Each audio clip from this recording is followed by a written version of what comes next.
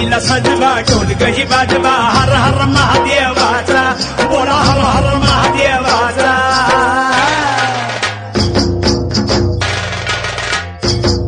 बळी राजा गातो या गुण रे सन्याला